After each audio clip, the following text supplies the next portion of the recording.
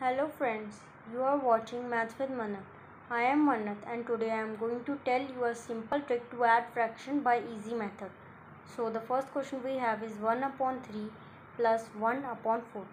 So to find this, we will first add 4 and 3 which is equal to 7. So we will place 7 and now we will multiply 3 and 4 which is equals to 12.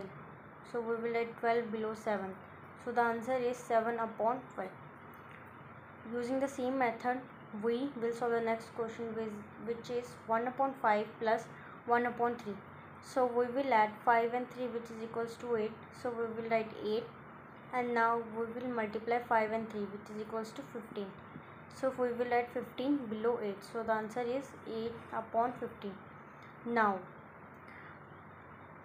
to solve mixed fraction we will multiply 7 by 2 which firstly we will add them and then multiply them. So the addition of them is 9 and the multiplication of them is 14 so we will add 9 upon 14 and now we will add this 3 with 7 which is equals to 10 so we will write 10 using the same method we will solve this next mixed fraction.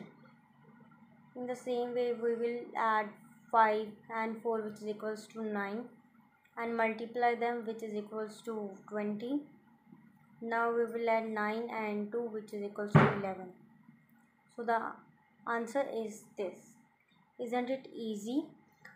It wouldn't take long time but the traditional method of solving this type of question will take. So practice more and stay tuned with me. Thank you